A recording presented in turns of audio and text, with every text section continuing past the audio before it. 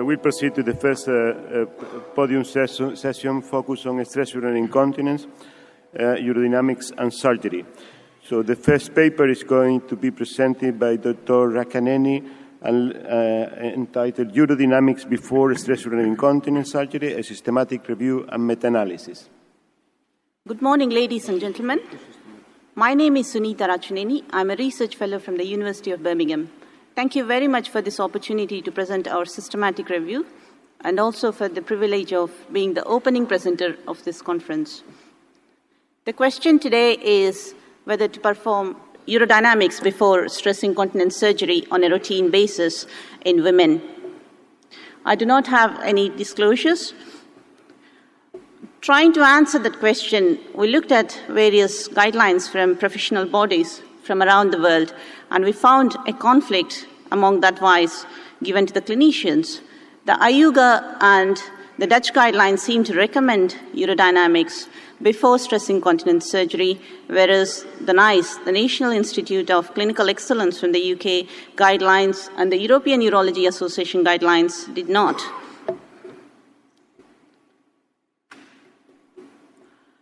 In this context, a clinician survey performed in the UK showed that 89% of the clinicians subjected women to urodynamics before stress incontinence surgery. But they identified that there was a need for further research in this area and were willing to recruit patients for RCTs. With this background, we have looked further for the evidence available in this area and we found that we found a need for a systematic review. The objective of our systematic review was to evaluate if women undergoing urodynamics before stress incontinence surgery have a different outcome compared to women undergoing office evaluation alone. We performed a systematic search and looked at all the available databases and the grey literature. We found 388 articles, out of which four satisfied our inclusion criteria. We then performed a quality and risk of bias assessment on the included studies. We found the value study and the Dutch study to be very robust in the study methods. The third study by Moroto from Spain was published as a conference abstract, and we did not have enough information to do a full quality assessment the fourth study from the UK, the Investigate study, results have not been published so far, so we could not include it in the meta analysis. We looked at outcomes of subjective cure, objective cure, and postoperative complications. For the outcome of subjective cure, it has been defined as change in the PGI scores, either much better or very much better in all the three studies. The relative risk was found to be 1.02 uh, with very tight confidence intervals of 0.90 to 1.15, indicating that there was no difference between both the groups. Objective cure has been defined as negative cough stress test at the end of one year following surgery. Again, the risk ratio was found to be 1.01, indicating that there was no clinically significant difference for this outcome in women undergoing either office evaluation and urodynamics compared to office evaluation alone. For the postoperative complications, we looked at de novo or worsening of ongoing urgency, and the relative risk was 0.80. But as you can see, the confidence intervals are wider here, making this difference statistically insignificant.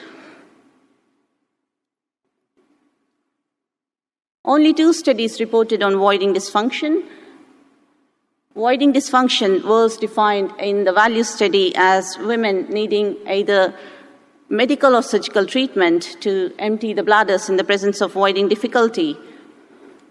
So the risk ratio was 1.54, but the confidence intervals are wider here, again indicating that there is no statistically differ- significant difference for this outcome between both the groups.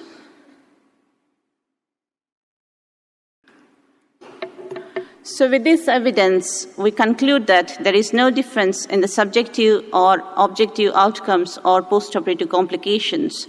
Even in the presence of discordant findings between office evaluation and urodynamics, uh, women who were subjected to immediate midurethral sling compared to women who had a delay and tailored treatment based on their urodynamic diagnosis and who subsequently underwent midurethral sling surgery had very similar outcome.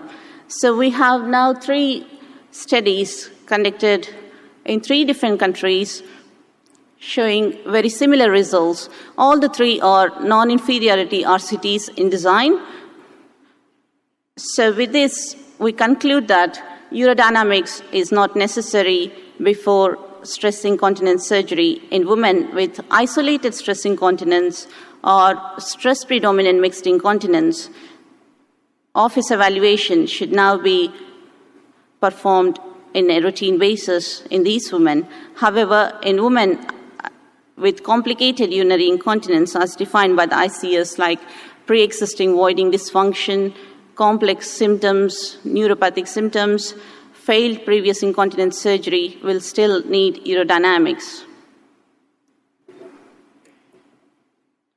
Thank you very much for listening.